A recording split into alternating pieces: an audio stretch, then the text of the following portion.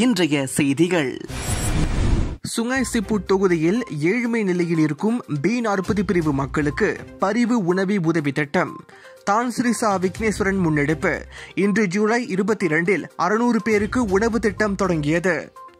தனி ஒரு மனிதனுக்கு உணவில்லை என்றால் ஜெகத்தினை அழித்திடுவோம் என்று பாடிய பாரதியாரின் பாடலுக்கு ஏற்ப சுங்கைசிப்புட் நாடாளுமன்ற தொகுதியில் ஏழ்மை நிலையில் இருக்கும் பி நாற்பது பிரிவு மக்களின் சுமையை குறைக்க மாயிகா தேசிய தலைவர் தான்ஸ்ரீ விக்னேஸ்வரன் பரிவு உணவு உதவி திட்டம் ஒன்றை முன்னெடுத்துள்ளார்.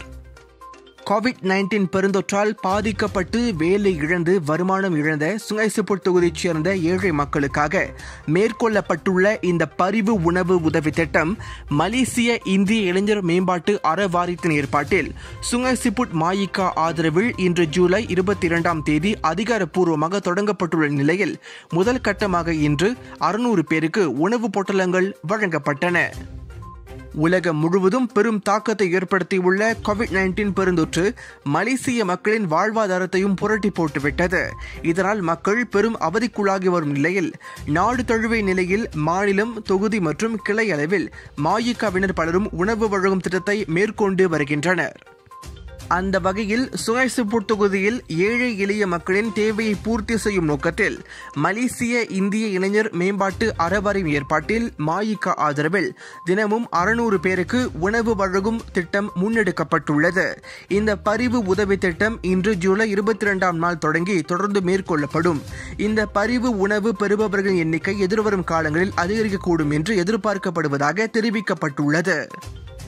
இந்த கோவிட் நைன்டீன் காலகட்டத்தில் ஏழை வாழ்வாதாரம் இழந்தனர் வருமானம் இழந்தனர். இத்தகைய ஏழை எளிய மக்களுக்காக உணவுகள் தொடர்ந்து வழங்கப்படும். இந்த பரிவு உணவு உதவி திட்டம் மதிய உணவாகவும் இரவு உணவாகவும் மாயிகா தொகுதி தலைவர்கள் சமூக நல இயக்கங்கள் அலுவலக பணியாளர்கள் மூலமாக சுங்கைசிப்புன் மக்களுக்கு வழங்கப்படும். இந்த உணவு தரமான முறையில் மக்களுக்கு வழங்கப்படவிருக்கின்றன. கடந்த ஆண்டு முதல் முறையாக கொண்டு வரப்பட்ட முழு ஊரடங்கு காலகட்டத்தில் தொடர்ச்சியாக இரண்டு மாதங்களுக்கு தினமும் உணவு வழங்கப்பட்டன. அதுபோலவே தற்போது இந்த உணவு வழங்கும் திட்டம் தான் ஸ்ரீ விக்னேஸ்வரன் அவர்களின் பெரும் முயற்சியில் மக்களின் தற்போதைய தேவை அறிந்து முன்னெடுக்கப்பட்டுள்ளது. இந்த உணவு பொட்டலங்கள் தேவைப்படும் மக்களுக்கு நேரடியாக கொண்டு சேர்க்கப்படும் என்பது குறிப்பிடத்தக்கது. நாட்டில் இன்று கோவிட் நைன்டீன் தொற்று காரணமாக பதிமூன்றாயிரத்து முப்பத்தி நான்கு தொற்று எண்ணிக்கைகள் பதிவு செய்யப்பட்டது. நாட்டில் இன்று கோவிட் நைன்டீன் தொற்று காரணமாக பதிமூன்றாயிரத்து முப்பத்தி நான்கு தொற்று சம்பவங்கள் பதிவு செய்யப்பட்டதாக சுகாதார அமைச்சு தெரிவித்துள்ளது. இதனால் நாட்டில் ஒட்டுமொத்தமாக ஒன்பது லட்சத்து அறுபத்தி நான்காயிரத்து தொள்ளாயிரத்து பதினெட்டு தொற்று சம்பவங்கள் பதிவு செய்யப்பட்டது. நாட்டில் இன்று எட்டாயிரத்து நானூற்று முப்பத்தி ஆறு பேர் மீண்டுள்ள வேளையில் மொத்தமாக தொற்றால் எட்டு லட்சத்து பதினைந்தாயிரத்து இருநூற்று தொன்னூற்று மூன்று பேர் மீண்டுள்ளனர்.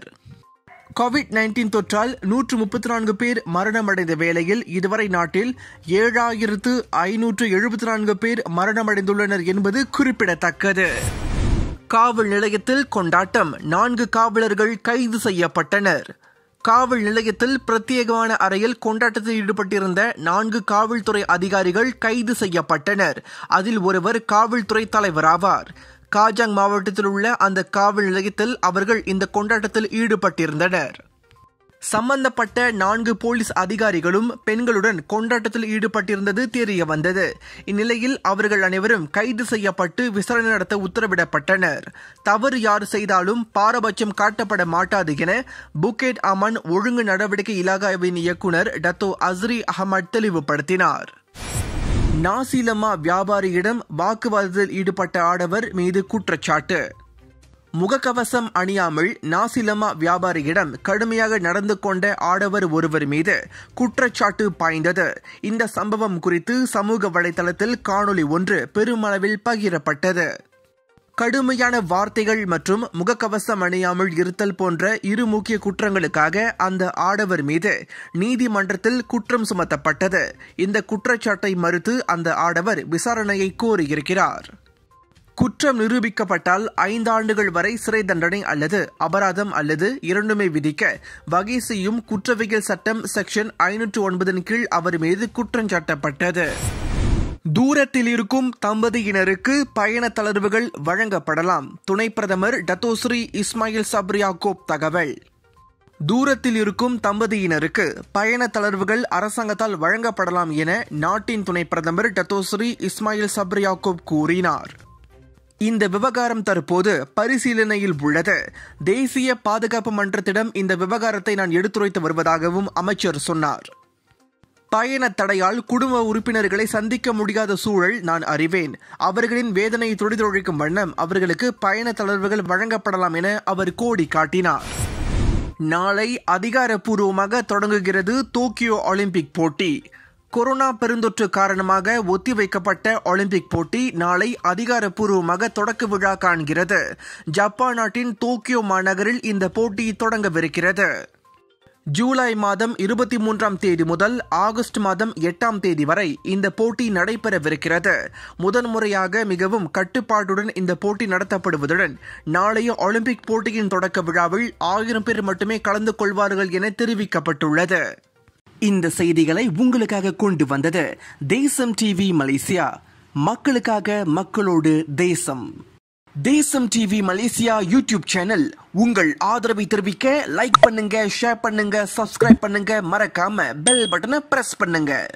மக்களின் தேர்வு தேசம் டிவி மலேசியா.